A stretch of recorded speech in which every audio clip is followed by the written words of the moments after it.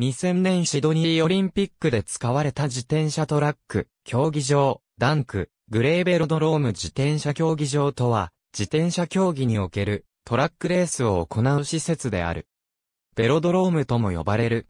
自転車競技場の走路は、バンク、またはトラックとも呼ばれ、周回走路を意味する。室内走路は、板張り、屋外走路は、コンクリート、ウォークトップなどで舗装されており、カーブは安全最大速度で走れるよう走路に角度をつけている。角度がつけられている理由は、遠心力が質量、角速度、回転の中心からの位置に比例して発生するからである。自転車競技場では、正面、高正面側では、比較的角度を緩くし、みなし直線と呼ばれる部分を設け、1から2コーナー及び3から4コーナー付近において、最大角度になるように設計されている。また時速 75km での走行において車体が25度より傾かないように設計され、国際規格の走路では時速 85km 以上の安全最大速度により設計されている。角度の設計にあたっては、緩和曲線が用いられる。自転車競技場で現在使用されている緩和曲線には、主として次の3つがある。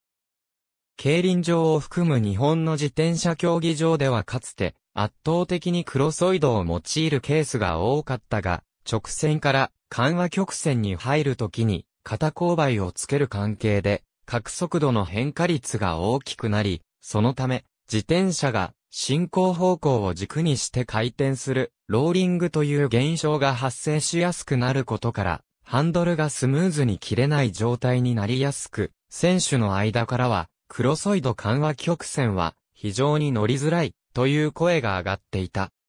そこで、ローリング現象を最大限抑制するように設計された三次元局面で形成されるマッコーネル緩和曲線を導入する動きが大きくなり、現在では日本のほとんどの競技場においてマッコーネル緩和曲線が導入されている。同緩和曲線については、競輪選手の多くがマッコーネル緩和曲線はハンドルをさほど切らずに済むので、常に直線を走っている感覚でいられると、言明しており、また走路に癖がないという意味合いにおいても評価されている。ただしマッコーネル緩和曲線は、計算基準が難解なため設計が困難という問題を抱えている。周長については133メートルから500メートルまでとなっており、2015年現在、オリンピック及び世界選手権自転車競技大会を開催する会場については250メートル走路で行う規則がある。なお333.33メートルの走路については3周で1000メートルの扱いとなっている。日本では400メートル走路が圧倒的に多いが、これは競輪の関係法令が影響している。なお、国内の自転車競技大会については333.33メートル走路の会場で行われるケースが多い。また500メートル走路もいくつか存在する。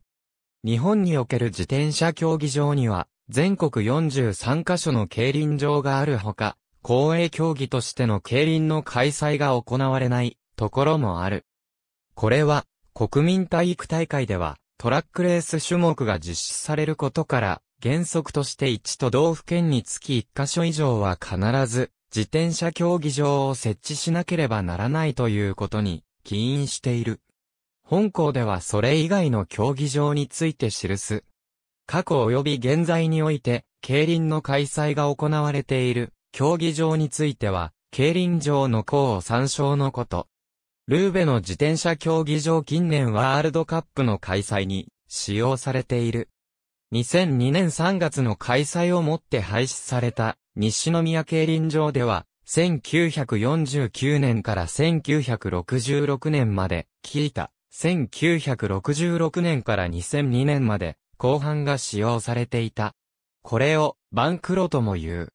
ABJCF 競技規則2016、日本国内で、オートバイにより自転車を先導し高速走行するドミフォン種目を行う競技場は、時速 85km 設計。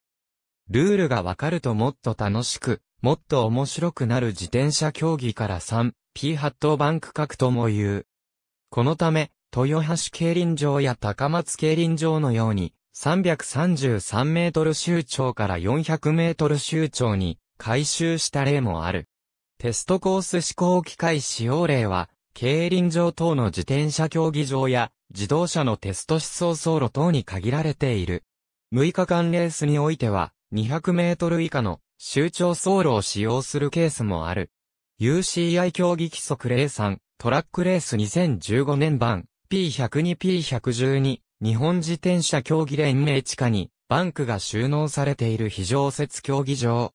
9、日本競輪学校 AB 日本自転車競技連盟、自転車競技場一覧、ただし、日本競輪選手養成所の敷地側に設置されており、事実上日本競輪選手養成所の施設となっている。